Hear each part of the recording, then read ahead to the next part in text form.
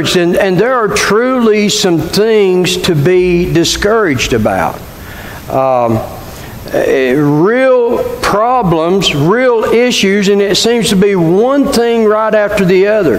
And obviously, we all know that soon to be now Justice Kavanaugh has went through a a process none of us would ever want to have to go through. And, and, and I will tell you, even in the mix of that, when Lindsey Graham, if you've been following it, and he kind of had an outburst of emotion and, and, and really got upset, and he made a statement that stuck with me, and I'm thinking how sad, but how true. And he was talking to, uh, referring to Judge Kavanaugh, and he said, Sir, if you have come to this city for a fair hearing, you've come to the wrong city. And that should not be named among us. I, I, don't care what other nations want to do. We need to do the right thing. And we need to demand that our leaders do the right thing. And, and, and hopefully in this I can share with you through the, through the eyes and the, and the life of Elijah how even though discouragement may come, maybe we will know how to even hinder it from getting to us, or especially know how to get out of it once we get there. And I'm going to use some very practical ways to do this. Um, kind of strange being on the stage right here. I'm used to being up there. But but wow, I, I don't know whether to take it as a compliment or to be concerned because they seem to be pushing me away. And, and uh, but, but I do appreciate Terry and, and, and Greg and, and Jeff and Mike. Uh, and Lauren. these guys came together and put this thing in. It actually looks pretty good. I was afraid it was going to be a mess, but they really done a good job on it. And, and I, I didn't need another discouragement in my life. I did not want to walk in here and, and say, oh my goodness, I'm going to have to hurt someone's feelings if, if this thing is, is, is not, especially if it's not centered up, then we would be in a world of trouble. So, we, we've got a lot of the things that are hindering us and that's causing us to be discouraged. In the book of, of uh, 1 Kings, chapter 19, we find a, a story that's playing out. Now, many of us may not be familiar with 19, even though we've read it, but we all are very familiar with chapter 18. Chapter 18 is when Elijah may have been at the pinnacle of his life. I mean, that every devil in the universe seemed to be coming after Elijah, and he withstood and he stood strong and he focused and he whipped them all, of course, through the help of God. He called upon God. God delivered. Elijah was walking probably more in the power of God, or at least he felt he was was at that very moment of his life than maybe any other time in his life. And then chapter 19 comes. Chapter 19 is quite a contrast to chapter 18. We see an extremely high followed by an extremely low. And as I began to talk and began to pray over the last month, and probably have had too much time to think about it, I began to, to, to think about this nation, this world, the, the, the, the condition of the church, and it, and it appears what the Lord began to show me was in chapter 18 was kind of like the way the church used to be. And when I say used to be, and I'm not meaning all the glamour and, and, and, and all the healing services, but anyway, it was filled with people that used to know how to get in touch with God, to get a hold of God, and we'd see some powerful things happening in the churches, and we've seen people walking in the power of a holy God. And now we hear, we're here today, and it appears the churches went from chapter 18 to chapter 19. Now we're in a state of fear. Why? Uh, why do I think that? Because we're no longer walking in the power of God. Not only is the church, but most of us as individuals are not walking in the power of God like they used to. Now, I don't want to talk about what they used to do because I don't live in the used to. I live in the now, so we're going to have to figure out how to turn the tide and get God back relevant and working in a manner in which when we know that we call upon the name of God, He's going to be quick to answer. And we're going to be so in touch with God that we're going to be able to ask whatever is in His will. And He says, if you ask whatever in His will, He will answer. That's where we're going to have to get back with God. And I will tell you, it's going to take some work to reverse this thing. Because we are definitely living in chapter 19 today. And if you don't think so, how many young people do you see on fire for God? How many young people are flooding the altars? How many people are, are flooding the, the, the churches saying, God has called me to do this. God has called me to do that. God's called me to preach. God's called me in the mission. God is calling me. No, they're exiting the church. And there's a reason. And it's not the young people, it's the church. So, let's go to chapter 19. I'm going to read this. Hopefully, you can go over it a time and again and, and begin to think about the service and the sermon. And before I read it, let me, let me add this. For quite a few years, I, I'm thinking since 2010, I've attended a conference in, in Asheville, North Carolina at the Cove Billy Graham Training Center. And this conference has nothing to do with anything but revival. Heart cry for revival and they've got speakers that, that are experts on revival, and one in particular. He's not, he, he's not only, in my opinion, expert on revival, but he probably has the largest library in the nation that deals with history of revivals, not only in America, but in Europe in different places. His name is Richard Owen Roberts. And, and I'm telling you, he preaches and teaches with such uh, uh, an anointing of God. And I've had the opportunity to sit in his classes, to hear him preach, and, and to have one on one conversations with him. And I remember whether he was telling me or I was reading in one of his books or a flyer he had out or something, he began to talk about uh, the things of revival and, and, and an era of time, how during, during the time, I guess, the first Great Awakening, the church or, or, or revival was just burning up the, the, the world, Europe and America, uh, especially in America. And. Um, and he made the statement that God began to deal with these great revivalists on the issue of slavery. And because they, they wouldn't deal with slavery, the, the revival kind of fizzled out.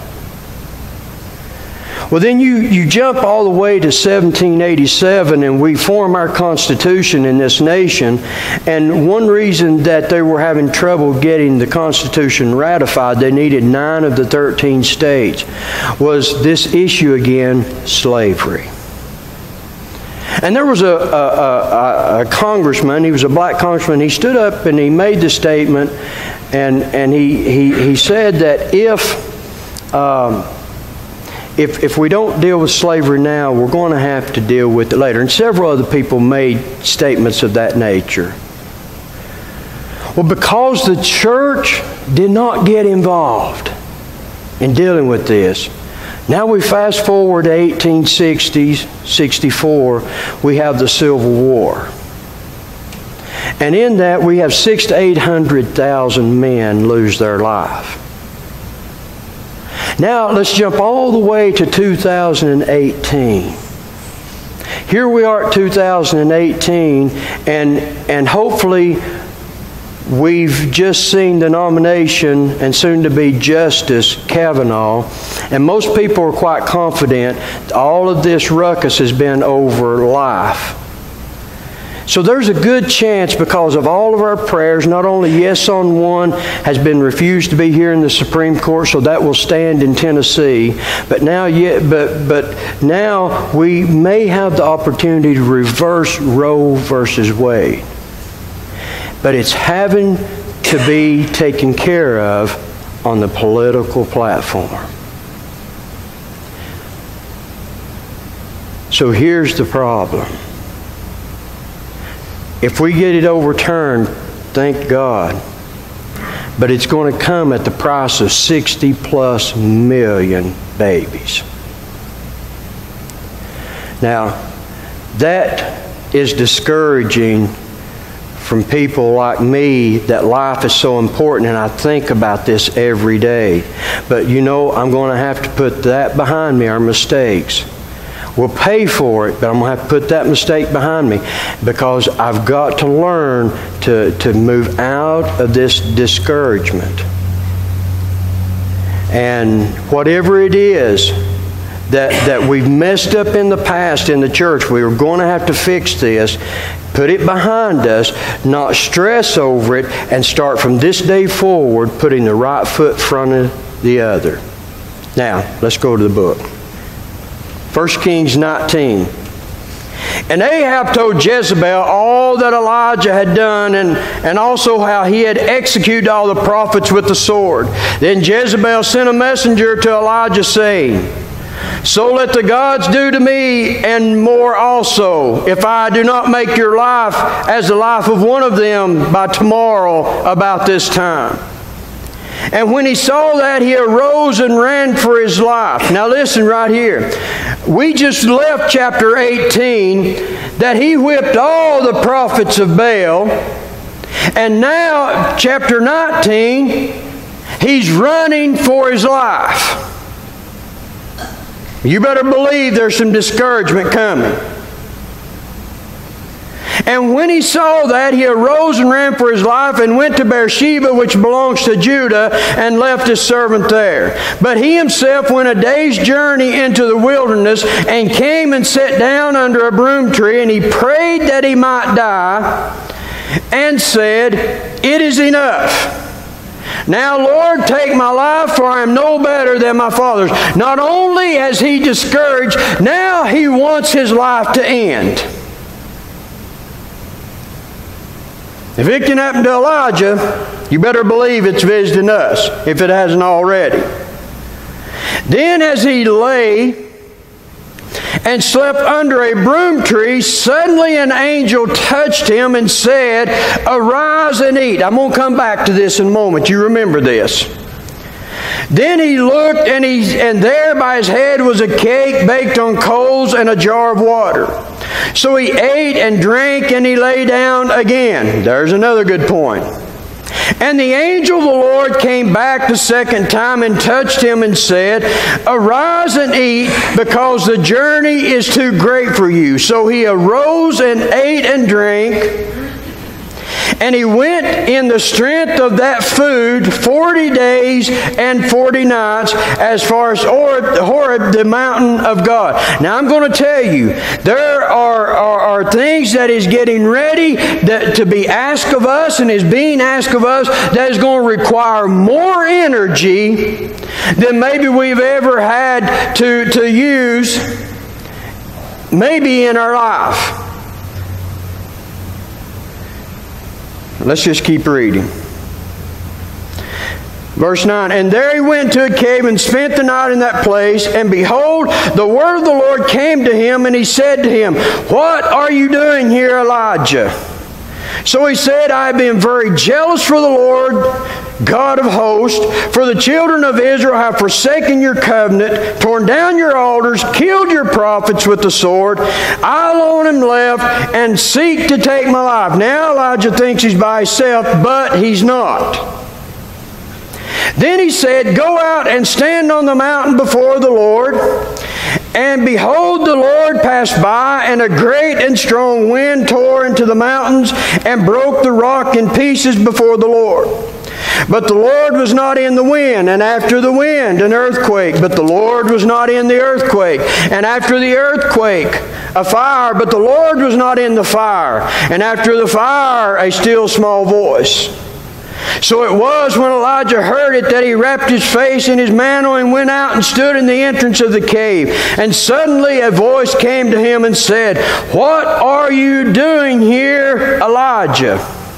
And he said, I have been very zealous for the Lord of God of hosts, because the children of Israel have forsaken your covenant, torn down your altars, killed your prophets with the sword. I alone am left, and they seek to take my face. Then the Lord said to him, Go return on your way to the wilderness of Damascus, and when you arrive, anoint Hazael as king over Syria. Also you shall anoint Jehu the son over Nishma, the king over Israel, and Elisha the son of Shaphat of Abel Meholah shall anoint as prophet in your place. And it shall be that whoever escapes the sword of Hazael, Jehu will kill, and whoever escapes the sword of Jehu, Elisha will kill. Yet I have reserved 7,000 in Israel, all whose knees have not bowed to Baal, and every mouth that has not kissed him. Now I want to stop there just again for a moment. Elijah was discouraged. He thought he was alone. We just read that he wasn't alone. There were 7,000. Now, there, there's two things going on here. One, Elijah was having a little pity party and he thought that everyone had forsaken him. And part of the reason that he might have been thinking that is because the 7,000 were silent. No one was saying anything. I am telling you, there is something to be said about speaking and standing. Someone, and God always has people that He's asking to stand and speak. Let's go on. Verse 19. So he departed from there and found Elisha the son of Shaphat, who was playing with the twelve yoke of oxen before him, and he was with the twelve. Then Elijah passed him and he threw his mantle on him. And he left the oxen and ran after Elijah and said, Please let me kiss my father and mother, then I will follow you. And he said to him, Go back again, for what have I done to you? So Elijah turned back from him, took the yoke of oxen, slaughtered them, boiled their flesh, using the oxen's uh, equipment. They gave it to the people and they ate. Then he arose and followed Elijah and became his servant. In chapter 18, Elijah is on cloud nine. In chapter 19, he is as far in the valley as you can get. And I will tell you, I believe that's where the church, the church is today. It does not have a clue who she is. The church is steeped in an identity crisis, thinking that, I, I don't know, they're waiting for God to sprinkle some kind of miracle dust on us that's going to cause us to be victorious again. It's going to take some work on my part and your part in order to get things back motivated and flowing again so that God can now once again bless the church, the church in America, and the church in the rest of the world. But it's going to, be, it's going to take some work. It's going to take some real work. Today, we're all caught up with thinking that God's only in the big stuff. And I will tell you that if you are, are involved in anything of much importance, there's a good chance that either you feel like you're alone or you're only in part of a small group. And it can get discouraging. So you get discouraged, you eventually stop doing the work. and we can't afford to stop doing. So, what is the answer to discouragement? So, I want to take this from a biblical perspective, but also from a personal perspective, and also an observation that I'm reading from people and watch some people get through these things on their own. Make this very practical and very relevant for you and I. In this, we find the first thing that, that Elijah had to do. Not only was he, he, he should have looked at himself, but the, the angel came to him and, and to ask him, What are you doing? He gave, gave the whole spiel. And then they said something You must get some food and you must get some rest. Mm. I'll tell you before this is over, it may sound like an infomercial more than a, than, than, a, than a sermon. But I will tell you, there is so much truth in this, not because I'm a model citizen of this, but because I'm the opposite of this. If you're not sleeping and eating properly, you're not going to be much use to God nor anyone else. That's a fact. You can argue that all day long. Listen, I have lived that side of it and, and still living it. So, the first thing you need to get some proper nourishment. And I am not talking about hamburger and french fries. Now, again, I'm not the model child in this, but I am trying and I'm making some huge gains. And there are some people out here in this audience that can get you hooked up with some things that will help you. You might think, well, Pastor, look at yourself. You're getting plenty food, the wrong food. Not only that, do you realize there, there, there are, are, are, some of our food are having traces of this poison that's in Roundup? That's messing with their mind. It sure is not making the cells uh, uh, uh, uh, in, in a state of where they can absorb the good nutrients that they need. So, proper diet. Now, let me, let me tell a little story on myself. The ladies meet here every Tuesday, and they have their prayer and and I try to be here. I'm, I'm here at least half the Tuesdays. I don't bother them, but but I'm here. And uh, I came in one Tuesday because if they're praying for anyone, I promise you they're praying for me and they're praying for Pastor Moses. I, I've heard them pray too many prayers for, for the both of us. And that day I walked in and I made the statement, and I, after I made it, I thought, oh my. I made the statement, I'm done with Diet Mountain Dew. Well, I thought that they was going to have a hallelujah shouting time service to hear me say that I was done with Diet Mountain Dew. Now, I didn't want to deceive them, and I didn't mean to deceive them, but they were so happy I didn't want to tell them the truth. Because what I meant, because what PepsiCo was doing to Doritos, who also makes Diet Mountain Dew, I was in total opposition, so I decided I was not going to consume or drink anything that was from Pepsi, so that meant Diet Mountain Dew. So I said, I'm done with Diet Mountain Dew. Well, they didn't let me finish. They started praising God for this. And I'm thinking, but I'm going to drink Diet Coke. But I couldn't tell those ladies that. How would you like to face 20 or 25 of these ladies that are on cloud nine? The pastor is finally prayed through. Do you know what I did for the next two weeks? I snuck my drinks into work. And I would drink in secret until I eased it back in and they knew the pastor had fell off the wagon. Then I could start putting them back in the fridge again.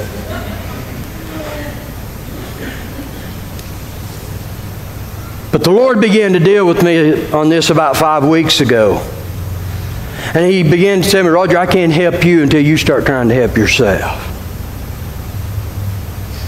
And he began to flood my mind with so many people at this church that are offering to help me. And I'm thinking, I mean, I find things hanging on my door that, if, Pastor, if you'll take this, you won't have gout anymore. Well, I want my shrimp. And the Lord is saying, I can't help you.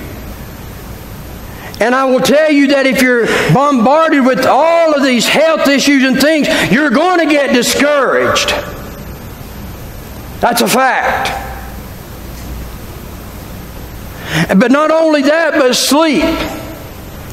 Some of you know, but what most of you don't know is I have no idea up until three weeks ago or two weeks ago. I have no idea what a good night's sleep feels like, and I've not for 30 years. And matter of fact, three weeks ago, I'm standing here in a service, and it had been four days since I'd even had any sleep. And I come here every Sunday morning for the majority of my life of pastoring this church, not having one moment of sleep the night before. And if you think you can function properly, you learn to get by. But if you think your body can function properly, trust me, it cannot. And that I am an expert in. So, uh, so I'm, I'm beginning to ask the Lord, okay, Lord, I'm not taking the drugs. So you're going to have to help me with this. And sure enough, for the last two or three weeks, I've had I've enjoyed more sleep and better sleep than I have in 30 years. And matter of fact, my wife comes to bed the other night and she's talking to me, and I'm thinking, Lord, would you help me stay awake so she doesn't get upset at me? Next thing you know, I was gone. Actually, I think she kept talking till she went to sleep and, and finally fell asleep and didn't even know I wasn't listening to her. So you're going to have to get proper rest, and proper nutrition. I know that sounds like an infomercial, and that sound that doesn't sound anything scripturally based, but I just read to you from Elijah where they told him, lay down, get some sleep, get this food because Elijah, Elijah, you've got a journey that if you don't have the strength, you're not going to make it. Now, when the Lord begins to show you if you don't do something, you're not going to make it, you'll start making a life change in your life. Especially the, the desires of your heart. You can have the desire, but if the body won't go, the body's not going to go. And a desire is not enough to get you where God wants you to be. Just because you desire the good things of God, just because you desire the work of the ministry, does not mean you'll be productive in it if your body is going to hinder you in it. Especially when I have no excuse. So we're working on that.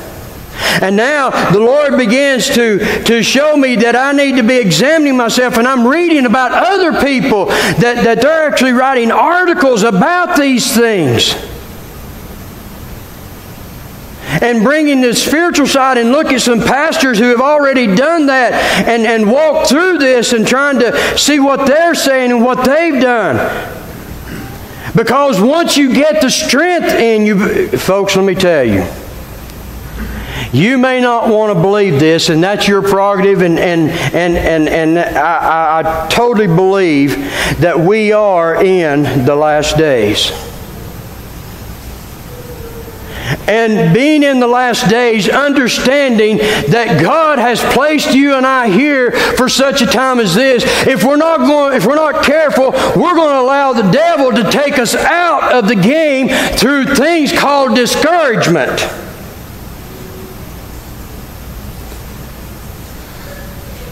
And then we can't even get our minds clear because they're cluttered with everything else.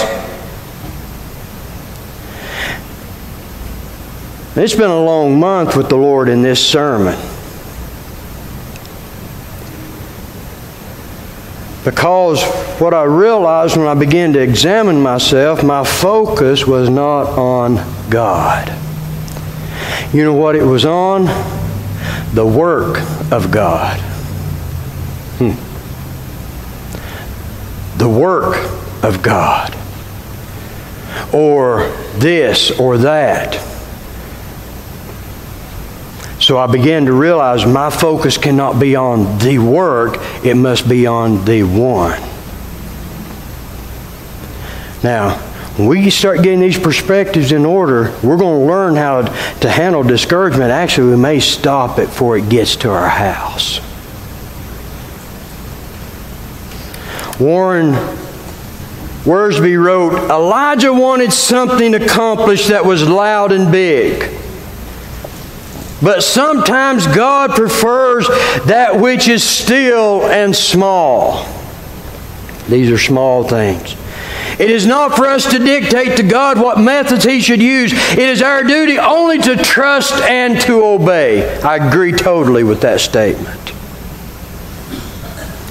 So we're going to have to make sure that we're taking care of ourselves the best that we can. And I'm telling you, in this small church, the Lord has flooded us with, with people. Guys, two weeks ago, I guess it was, I was standing at that door hanging on for dear life because I couldn't walk. My ear had completely messed with my equilibrium and I could not walk. I mean, it's swollen shut. I've got everything I know to do for it. And lo and behold, here comes Donna and hands me uh, some kind of concoction. And, and I don't read it because I'm afraid it might be something for one of her horses. But, but I'm just going to trust her. I put that stuff in my ear, and three hours later, it's better.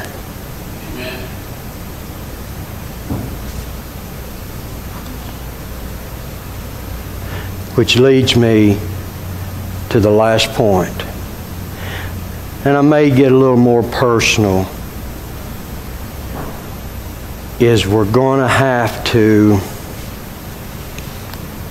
enlist help. If you're like me, you don't like that part about Christianity. I love family.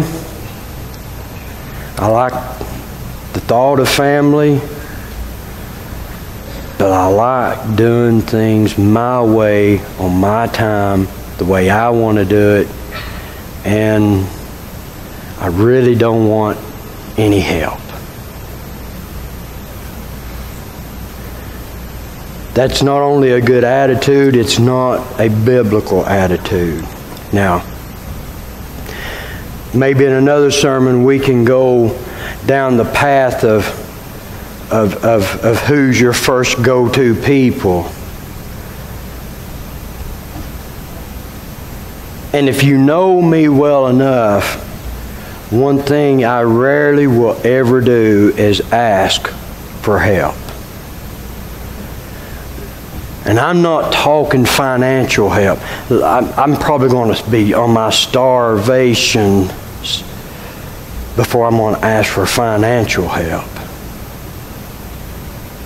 You may not, and you're better off than I am. My pride gets in the way. But I mean just help. I began to think about the church and, and, my goodness, from where we are now to where we were 15, 16 years ago when I felt like I needed to micromanage. And now I've got people stepping up that's doing the teachings, doing the preaching. I've got, I've got people that's doing the Wednesday night teaching, the Wednesday night prayer. That's come right alongside because there's some things that, that I know God has birthed in my heart for the last 15 years that I can't make that mark because I've got too much, too many things, too many parts that are, that are working that's keeping me away from that. So now I'm beginning to enlist people and, and people at this church have stepped up and, and there can be emergencies happen in this church and I no longer have to be here to take care of those emergencies. And I thank God for these people that are stepping up and doing this. What, what greater honor could you be giving me than to be taking care of these duties for me? But not only on the, the, the spiritual part of it, but now the physical. Most of you know that, that I'm in a building project. And when I say I'm in a building project, I'm building a house. You're probably thinking of the average size home here. No, I'm building a small home, bigger than I wanted, smaller than my wife wanted, but a compromise we made 750 feet. I mean, you know, I, I sold my 1,800 square foot. Now I'm living in a basement and a two-story home above the basement, and and I'm and I'm wanting to go back to this 750. But in this this process, because I'm going somewhere with this, I'm I'm getting things in place so that I can be used and this church can be used in a greater way in the near future, hopefully. And, and during this, we decided to do this. So we sold our house a couple years ago. And, and then we started thinking about building. The Lord began to impress on me and my wife, I want you to do this without a mortgage. And I said, Lord, you know I'm not asking anybody for money. Not going to do it. Anything outside of number 11 written in stone, it's not going to happen.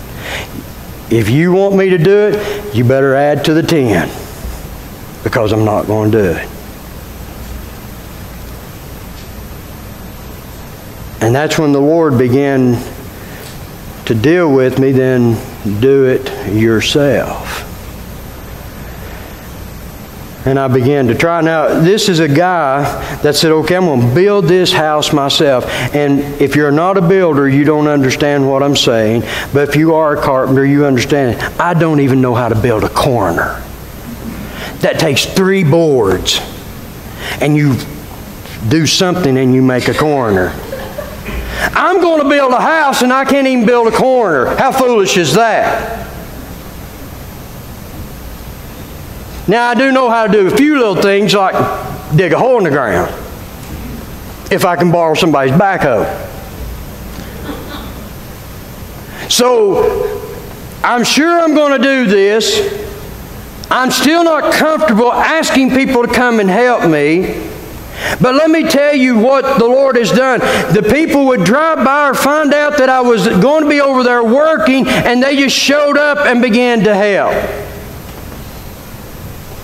And then I talk to other people that know. Now, listen, when you enlist help, if you've got a medical condition,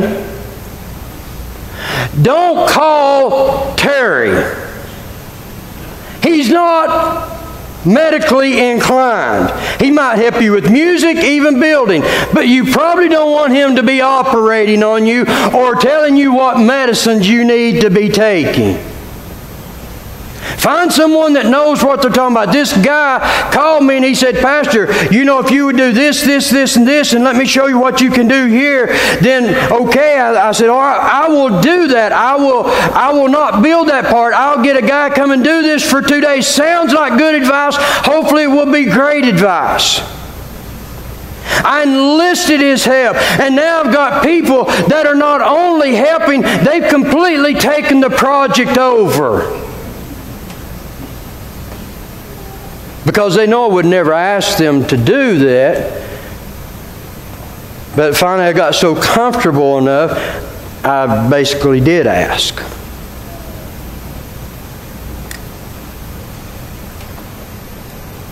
You got to enlist the help.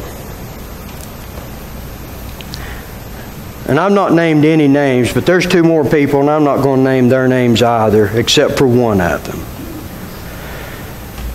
One person overheard what I was wanting to do, and he overheard that I want to do this mortgage free. And he came to me and he said, Roger, I think if you want to, it's going to cause a little more work on you, but if you want to do this, then I can show you how you can do this mortgage free. not only did the Lord orchestrate all of that, but this person even completely changed his entire work schedule so that I could do that. Nothing I would ever ask. But then there's one more person, and I didn't give any, any honor to this person because they were sitting here in the early service, and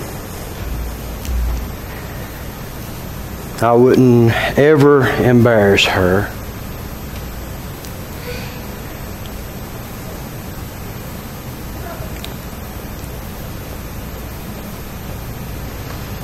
But is my wife.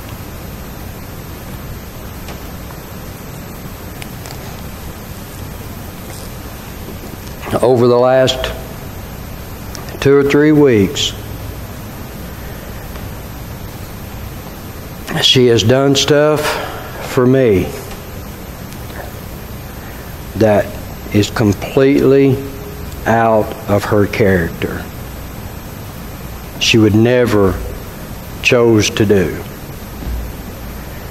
But she's in this with me because, and, it, and it's not about being mortgage free, but it's about not having that burden with that so that we can free up more time and resources to do the things for God. Folks, a few weeks ago I, made, I preached a sermon about God is making some huge changes. Well, He's made them in my life. And I have been surrounded with great people from this church that has made this happen. Because either I enlisted or you just knew what I was doing and you wanted to be part of it.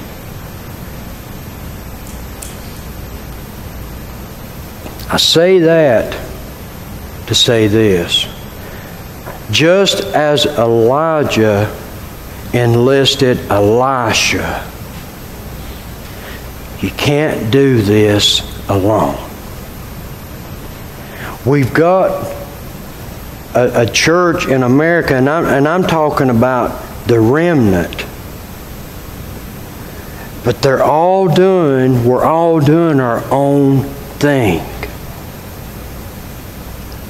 And sometimes we need the help of others. And here's the thing when Elijah enlisted Elisha, it not only helped Elijah, but it also blessed Elisha.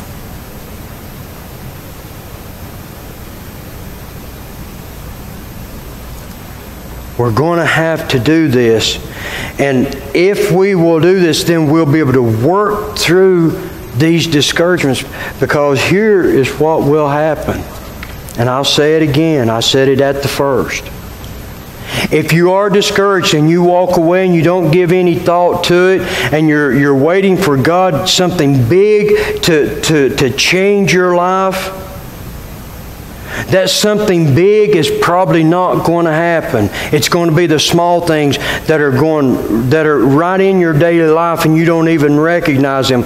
And and if you choose to to not grab a hold and you you start walking in discouragement, you'll find yourself like Elijah. You'll go from the mountaintop to your running. Listen, he whipped 450 prophets of Baal and ran from a woman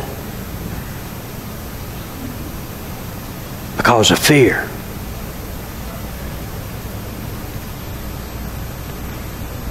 So if you don't, if you don't do something to turn this around, something productive, yeah, you'll still attend church and you'll still read your Bible and you'll still participate in worship. You'll still teach the lessons, preach the sermons, sing the songs. But you'll finally wake up one day and look and see that you have absolutely stopped serving God. You're no longer in the fight. All you can do is hang on to your life. And the Lord has given us and shown us how we can do this. And I will tell you, I'm an expert in hiding it. I've stood here and preached. I've talked to you before. I've, I've cut, cracked jokes with you before, and so discouraged I didn't know what I was going to do next. So I can hide it. Thank God if you don't hide it. And still love God, not question that at all. But realize I'm no longer serving Him. I'm not working for Him. And I think the apostles, it's, it's kind of an unknown uh, statement that is, that is made, or it's, it's, it's uh, implied anyway, when they would say John or, or, or, or Jude or, or Paul or James, a servant of God. Instead of an apostle of God, they said a servant of God. In other words, they said, I must never lose the attitude of serving Him, serving God. Don't stop serving God. But I don't care how committed you are, if you're constantly, and I know we have valleys in our life. I'm not talking you can't have a moment of, of where things are just, uh, just seem to be out of control in your life. But when we're just staying in the valley and we can't ever get out of there, don't stay there because you'll become discouraged, and I will promise you, you will not work for God. You won't do it. That's why our kids have left. That's why no young people are being called, is because because we are sick, we're discouraged, we're stressed, and we can't show the power of God. We love God and we're faithful. We're going to, we're going to come and we're going to do, but we no longer work. I, I, I can't keep going. It's been a month and it's been a while, and, and I've been working a long time on this sermon.